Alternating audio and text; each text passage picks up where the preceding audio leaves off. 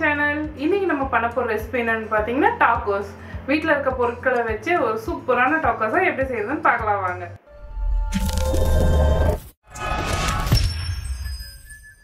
Tacos செய்ய tacos செல்ஸை first ready பண்ணிக்கலாம். அதுக்கு மைதா ஒன் கப் இது வந்து நூறு கிராம். கோதுமை மாவு ஒன் கப் நூறு கிராம். மஞ்சள் தூள் கால் டேபிள் ஸ்பூன் உப்பு ஒன் டேபிள் ஸ்பூன் எண்ணெய் ஒன் டேபிள் ஸ்பூன் ஃபஸ்ட்டு இதை கை வச்சு நல்லா கலந்து விட்டுக்கோங்க. தண்ணி ஊற்றி மிக்ஸ் பண்ணிட்டீங்கன்னா இந்த மஞ்சத்தூள்லாம் ஒரு இடத்துல போய் அப்படியே செட்டில் ஆகிக்கும் அதனால ஃபஸ்ட்டு வரமாவை இந்த மாதிரி பிணைஞ்சிக்கோங்க. அப்புறம் கொஞ்சம் கொஞ்சமாக தண்ணி சேர்த்து இதை மிக்ஸ் பண்ணி விட்டுக்கோங்க. இப்போ நல்லா கலந்தாச்சு. கொஞ்சம் கொஞ்சமாக தண்ணி சேர்த்து ஒரு சப்பாத்தி மாவு பதத்துக்கு இதை நல்லா மிக்ஸ் பண்ணிக்கோங்க. சப்பாத்தி மாவு பதத்துக்கு இந்த மாதிரி நல்லா சாஃப்டாக பிணைஞ்சிக்கோங்க. இந்தளவுக்கு சாஃப்டாக இருக்கணும். இது வந்து ஒரு ரெண்டு நிமிஷத்துக்கு நல்லா பிணைஞ்சு விட்டுக்கிட்டே இருங்க. ரெண்டு நிமிஷம் பிணைஞ்சதுக்கு அப்புறமா நல்லா சாஃப்டாக வந்திருக்கு. இப்போ பவுலில் வச்சு மூடி வச்சிருங்க. ஸ்டெப் டூ இந்த மாதிரி ஒரு பவுல் வச்சுக்கோங்க. வெள்ளரிக்காய் சின்ன சின்னதாக நறுக்கியிருக்கேன். தக்காளி ஒன்று ஸ்வீட் கார்ன் வேக வைத்தது அரை கப் உப்பு கால் டேபிள் ஸ்பூன் எலுமிச்சை சாறு ஆஃப் டேபிள் ஸ்பூன் மிளகு ஆஃப் டேபிள் ஸ்பூன் நறுக்கின கொத்தமல்லி இலை. இதெல்லாம் சேர்த்துட்டு நல்லா ஒரு தடவை கலந்து விட்டுக்கோங்க. அவ்வளோதான் நம்மளோட சேலடும் ரெடி அடுத்து ஸ்டெப் த்ரீ இந்த மாதிரி ஒரு மிக்சி ஜார் எடுத்துக்கோங்க. வரமிளகாய் பத்து. இதை வந்து பதினஞ்சு நிமிஷத்துக்கு முன்னாடி தண்ணியில் ஊற வச்சுருக்கேன். இந்த ஜாரில் இப்போ சேர்த்துக்கோங்க. பூண்டு நாலு பல்.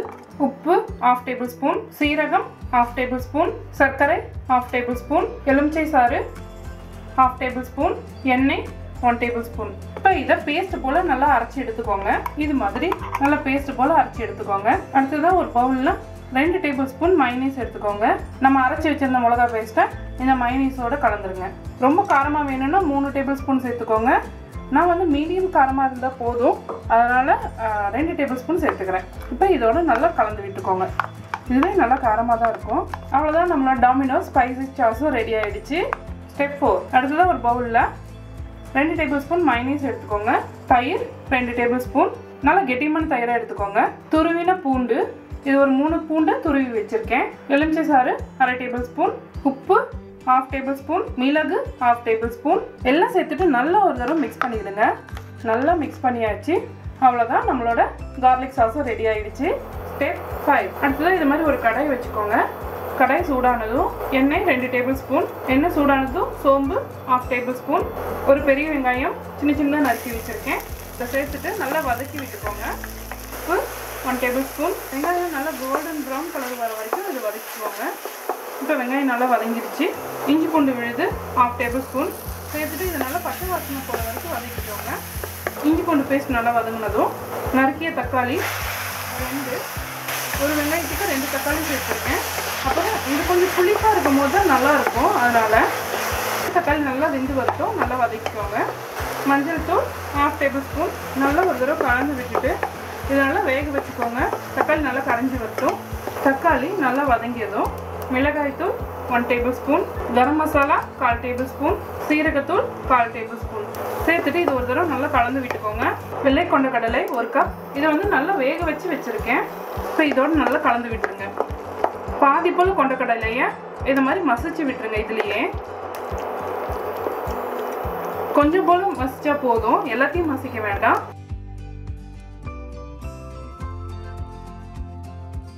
நீங்க இந்த வெள்ளை கொண்டக்கடலையே பயன்படுத்தணும்னு இல்லை கிட்னி பீன்ஸ்னு சொல்லுவாங்க இல்லையா அது கூட நீங்க பயன்படுத்திக்கலாம். அதுவும் நல்லா தான் இருக்கும். இந்த மாதிரி நல்லா மசிச்சதுக்கு அப்புறமா ஒரு கையளவு கொத்தமல்லி இலையை இதில் தூவி விட்டுருங்க. அவ்வளோதான் ரெடி ஸ்டெப் சிக்ஸ் இந்த மாதிரி ஒரு சப்பாத்தி கட்டை எடுத்துக்கோங்க. அதில் கீழே வரமாவு போட்டுக்கோங்க. நம்ம ரெடி பண்ணி வச்சுருந்தா டாக்கோ செல் டோவை வந்து ரெண்டாக பிரிச்சிருக்கேன். இது மேலே கொஞ்சமாக வரமாவு போட்டுட்டு இதை நல்லா தேய்ச்சி விட்டுருங்க. இதை நல்லா சன்னமாக தேய்ச்சிக்கோங்க இப்படி. இந்த மாதிரி நல்லா சன்னமாக தேய்ச்சதுக்கப்புறமா இது வந்து ரவுண்ட் ரவுண்டாக கட் பண்ணுறதுக்காக இந்த மாதிரி ஒரு டிஃபன் பாக்ஸ் மூடி எடுத்திருக்கேன். அப்போ தான் கரெக்டாக அழகாக ரவுண்ட் ஷேப்பில் வரும். இதை வச்சு ப்ரெஸ் பண்ணிவிடுங்க இந்த மாதிரி அழகாக ரவுண்டாக எல்லாத்தையுமே தேய்ச்சி வச்சுக்கோங்க. இந்த மாதிரி சன்னமாகவும் தேய்ச்சிக்கோங்க. மீதி இருக்க இந்த மாவை மறுபடியும் இந்த மாதிரி விரித்து இது போல் தேய்ச்சிக்கலாம். ஸ்டெப் செவன் நம்ம ரெடி பண்ணி வச்சுருந்த இந்த காக்கா டோஸ் எல்லாத்தையுமே ஒன்று ஒன்றா போட்டு இதில் வேக வச்சுக்கோங்க. நிறைய நேரம் வேக வைக்கணும்னு அவசியம் இல்லை. லைட்டாக வெந்தால் போதும். எண்ணெய் எதுவும் சேர்க்க வேண்டாம். லைட்டாக சூடு பண்ணி மட்டும் அப்படியே எடுத்துக்கோங்க. அவ்வளோதான் இந்த மாதிரி லைட்டாக சூடு பண்ணால் போதும். இது போல் எல்லாத்தையும் வேக வச்சு எடுத்துக்கோங்க. நம்ம எடுத்த மாவுக்கு ஏழுலேருந்து எட்டு டாக்கோ செல்ஸ் கிடச்சிருக்கு. இந்த மாதிரி எல்லாத்தையும் சுட்டு எடுத்ததுக்கு அப்புறமா மைக்ரோ ஓவனில் வைக்கக்கூடிய க்ரில் ஸ்டாண்ட் எடுத்துக்கோங்க. அதில் வந்து நம்ம ரெடி பண்ண இந்த டாக்கோஸை இதில் வச்சு இப்படி அழுத்தி விட்டுருங்க. அதாவது ரெண்டு கம்பிக்கு அடுத்து இந்த மாதிரி அழுத்தி விடுங்க.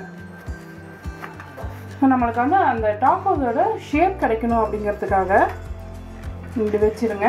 இதே போலயே எல்லாத்தையுமே இதில் வச்சு இந்த மாதிரி ரெண்டு கம்பிக்கும் அடுத்து இதை வந்து ஒரு அழுத்தி விடுங்க. அப்போ தான் இந்த இதை வந்து கரெக்டாக இருக்கும். அவ்வளோதான் ரெடி ஆகிடுச்சு இப்போ மைக்ரோவேவ் அவனுக்குள்ளார நம்ம கிரில் ஸ்டாண்டில் ரெடி பண்ணி வச்சுருந்தோம் இல்லையா? அதை வந்து உள்ளார வச்சிடுங்க. உள்ளார வச்சுட்டு க்ளோஸ் பண்ணி விட்டுட்டு ஒரு பத்து நிமிஷம் இதை நல்லா வேக வச்சுக்கோங்க. அப்போ தான் நம்மளுக்கு கிறிஸ்பியாக சூப்பராக கிடைக்கும். இப்போ ரெடி ஆகிடுச்சு வெளியில் எடுத்துடலாம். Step nine. இப்போ நம்மளோட டாப்பா செல்ஸ் எல்லாம் ரெடி இருக்குது நல்லா கிறிஸ்பியாக இருக்குது சத்தம் கேட்குது பாருங்க. நல்லா மொறுமொறுன்னு இருக்கு. இப்போ வந்து இதை எப்படி அரேஞ்ச் பண்ணுறதுங்கிறத உங்களுக்கு நான் காமிக்க போகிறேன் ஃபஸ்ட்டு துருவின முட்டைக்கோஸ். கொஞ்சம் நீள் நீளமாக கட் பண்ணியிருக்கேன். அதை உள்ளார வச்சிடுங்க. அடுத்ததான் நம்ம வேக வச்சு வச்சுருந்தோம் இல்லையா? கொண்டைக்கடலை மசாலா. அதையும் உள்ளார வச்சுடுங்க. ஒரு ஈவனாக ஃபுல்லாக ஸ்ப்ரெட் பண்ணி விடுங்க. அடுத்ததான் நம்ம ரெடி பண்ணி வச்சுருந்த சாலட் துருவின சீஸ் அடுத்ததான் நம்ம ரெடி பண்ணி வச்சுருந்தோம்லே சாஸ் இதை வந்து அப்படியே ஜிக்ஸாக்காக ஊற்றி விடுங்க. இப்போ பார்க்க ரொம்ப அழகாக இருக்கும். அடுத்ததான் white garlic sauce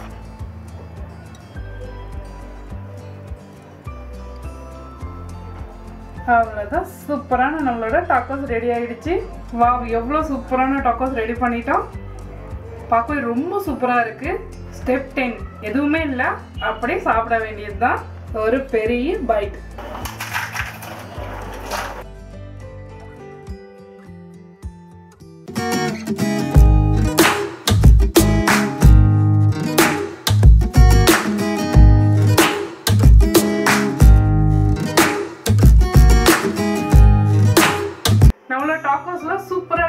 ready amazing taste உண்மையாலுமே ரொம்ப நல்ல டேஸ்ட்டாக இருந்தது. வெளியில் கிறிஸ்பியாக அந்த உள்ளே இருக்க மசாலாவோட சேர்த்து சாப்பிடும்போது ரொம்ப நல்ல டேஸ்ட்டாக இருந்தது. கண்டிப்பாக இந்த ரெசிபி வீட்டில் ட்ரை பண்ணி பாருங்க. மனமும் சோயம் சேனலை சப்ஸ்கிரைப் பண்ணாங்க சப்ஸ்கிரைப் பண்ணிக்கோங்க. பக்கத்தில் இருக்க பெல்லைக்கான அழுத்திக்கோங்க. லைக் பண்ணுங்கள் ஷேர் பண்ணுங்கள் உங்களுக்கு விருப்பமான டிஷ் எதாக இருந்தாலும் என்னோட ஷேர் பண்ண கமெண்ட் பாக்ஸில் கமெண்ட் பண்ணுங்கள்